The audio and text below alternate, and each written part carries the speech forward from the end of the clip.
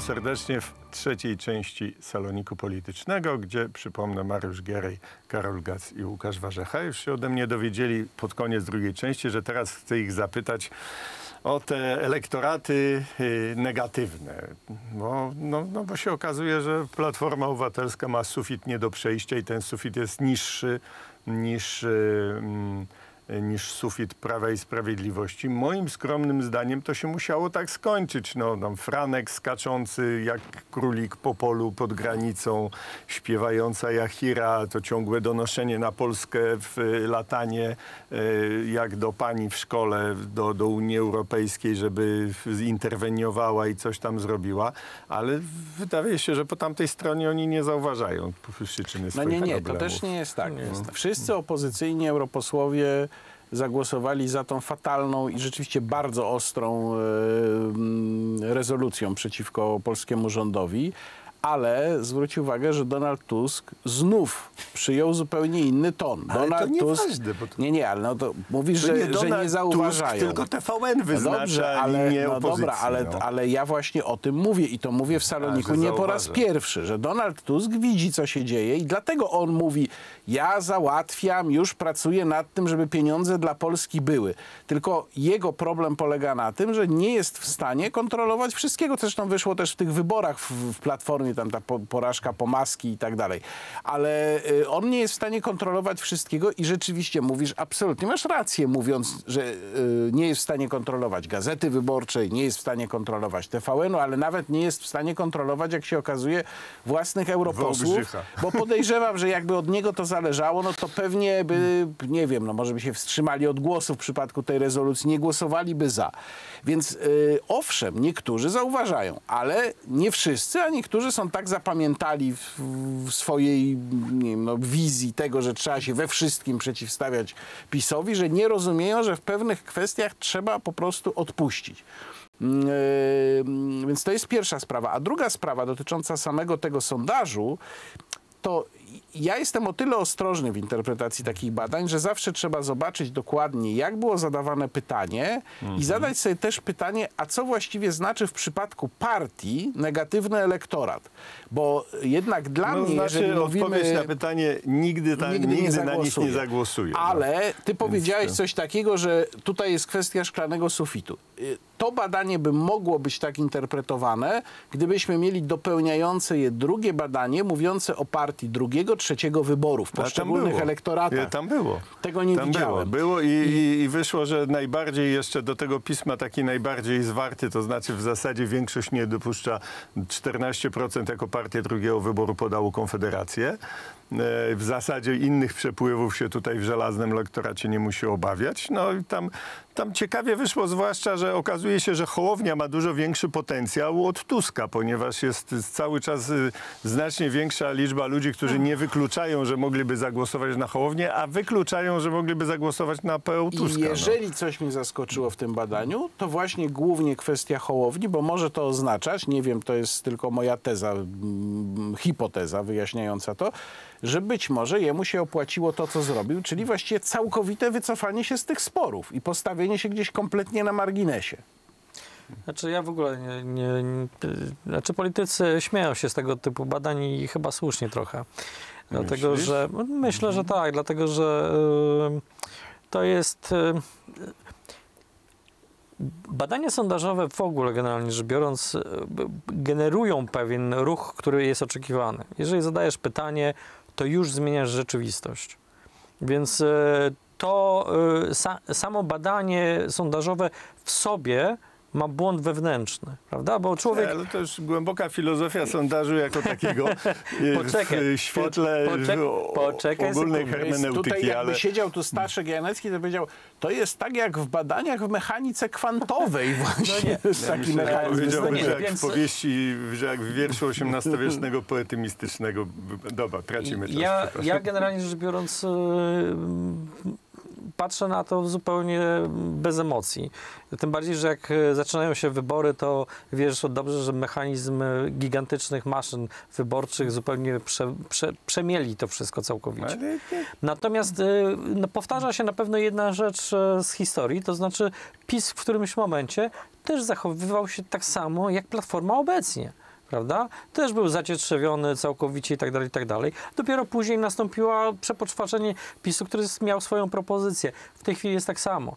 E, Platforma Obywatelska na dzień dzisiejszy jest na rozdrożu, bo z jednej strony Donald Tusk próbuje ją złapać w swoje ręce i trzymać twardą ręką, tak jak kiedyś. Jednocześnie już to nie jest ta sama rzeka, w której wtedy pływał i to widać. Stąd Rafał Trzaskowski pozwala sobie na coraz więcej. Zwróćcie uwagę, że tak naprawdę ostatnie wyskoki Rafała Trzaskowskiego są skierowane nie przeciwko Marszowi Niepodległości, jak naprawdę. Nie jest e, ten cały, e, z, którego się Karol śmiał, e, ten Syreni te syreni śpiew, nie, nie odnosił się tak naprawdę do, do, do, do całej sytuacji klimatycznej, tylko to było rzucone wyzwanie Donaldowi Tuskowi. Powiedzieli, powiedzieli sorry Wery, ale Donald, Czekaj. nie dajesz rady. Ale to jest, Trzaskowski idzie do środka bańki, ewidentnie, tak? Czy to jest rzeczywiście ruch antytuskowy, gdzie Tusk jest no, też już w bańce w tej chwili? Ale Ale próbuje się z niej wydostać. A Tusk może, a, a Trzaskowski może myśleć o przyszłości, tak? Może być bardziej perspektywiczny, młody, jak to przecież w polskiej polityce młodzi, tam I 40-50-latkowie. rzucając wyzwanie etc. Tuskowi stawia się na pierwszym Mm, miejscu. Tu, tu kilka wątków. Znaczy, y, ironicznie o sondażu, w ogóle mnie nie dziwią te wyniki z bardzo prostego powodu. No, skoro mamy rządy jednej partii i autorytaryzm, no to nic dziwnego, że partia z narodem, naród z partią. I przecież PiS ma tak wysokie poparcie. Ale mówiąc tak już poważniej, e, oczywiście i tak wiadomo, że wybory są najlepszym sondażem, bo ile te sondaże są warte, one dają jakiś wycinek rzeczywistości, często zmanipulowany i tak dalej, i tak dalej. Wiemy o tym doskonale. E, oczywiście PiS ma przed sobą duże problemy. On z jednej strony ma za sobą perturbacje polityczne, ale to jest pikuś przy tym, co go czeka za chwilę. Tak? Inflacja, wzrosty ceny surowców, energii, e, drożyzna w sklepach i tu już nie będzie tak prosto, bo pytanie oczywiście kluczowe, jak odczytają to Polacy inaczej, na kogo przerzucą winę, a na razie sondaże, pierwsze badania pokazują, że na rząd, nie na Unię Europejską. No, z reguły się Nie, przerzuca. nie, mówiąc, nie mówiąc, czy to Tym prawda, bardziej, czy że nie. rząd tak? nie ma odwagi otwarcie oskarżyć Unii Europejskiej, Tak. żeby się nie narazić na... co I, do- wra- I wracamy do pozycji Mateusza Morawieckiego w No. Co, co do jeszcze Donalda Tuska, no to to jest pytanie znowu o tego Donalda Tuska, o efekt Tuska, o jego jakiś pomysł na platformę, bo możemy się zastanawiać, czy on ma wpływ, czy nie ma wpływu. Zgadzam się, że na przykład nie ma takiego wpływu na takich posłów jak poseł Starczewski, poseł Jachira, którzy są gdzieś tam wolnymi elektronami, ale czy nie miałby na polityków, e, na swoich eurodeputowanych? Trochę wątpię. Wydaje mi się bardziej, że tutaj w ogóle nie ma związku przyczynowo-skutkowego. Czyli z jednej strony Mm. głosujemy za rezolucją, bo tak, bo tutaj o tym mówimy, a potem Tusk mówi o tym, że on zagwarantuje pieniądze i oni tu nie widzą sprzeczności. Znaczy, europosłowie mają też mocno niezależną pozycję Oczywiście jednak. tak, oczywiście tak, ale myślę, że raczej tutaj jest liczenie na krótką pamięć wyborców albo brak kojarzenia faktów, jakkolwiek to absurdalnie W brzmi. sumie taki Tusk to nie ma lekko, bo teraz tak, tu ma europosłów, którzy biorą taką kasę, że mogą, tak powiem delikatnie mówiąc, lekceważyć Tuska. Z drugiej strony ma baronów w miastach, tych prezydentów miast, którzy mają, oni mają prawdziwą kasę, oni mają mnóstwo do obsadzenia miejsc w spółkach, spółeczkach, synekur i korzystają z tego, że, także tak naprawdę Tusk nie ma czym kupować sobie ludzi. No, to jest też w ogóle dziwne, że jeszcze go tam ktoś słucha, to znaczy, że ma jakiś argument. Ostatnie dwie minuty chciałem zwrócić uwagę jeszcze na jedno zjawisko, może szybki komentarz do tego. E, najpierw atak na Bąkiewicza, teraz y, na, na L- ustawę anty-LGBT. Cokolwiek sądzimy o tej ustawie, no to Włodzimierz Czerzasty, który czerwoną flagę zmienia na tęczową, to już czerwona samo. daje z, ta, z sierpem młotem daje jeszcze 6-7% poparcia, a tęczowa to 2-3, więc jakby mam wrażenie, że PiS nawet bez własnych wysiłków w tym kierunku wychodzi do środka, bo też się nagle okazuje, że opozycja się głównie szarpie z tym, co jest bardziej skrajne od PiSu.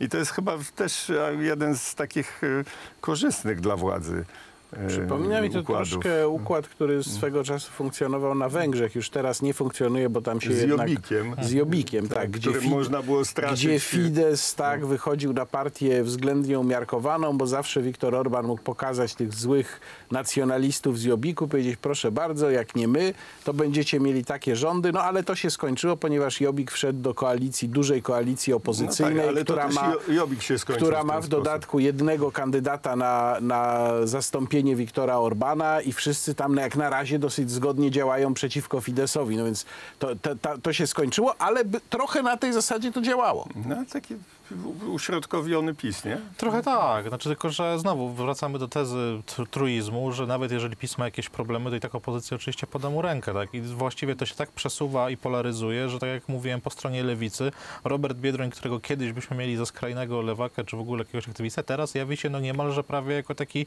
lewicowy konserwatysta, prawda? Bo mamy jakąś partię razem Karol, i, pojechałeś teraz. i, i, i tak Może dalej. trochę antycypujesz, ale krótka puenta, Mariuszu, twoja do, do spotkania dzisiejszego.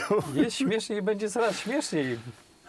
No właśnie, to, to, to, to jest taki Śmiech łzy śmiech, trochę. który nie bawi zupełnie. Dziękuję serdecznie, proszę Państwa. Mariusz Gerej, Karol Gac, Dziękuję. Łukasz Warzecha. Dziękuję. Salonik polityczny za tydzień o stałej porze.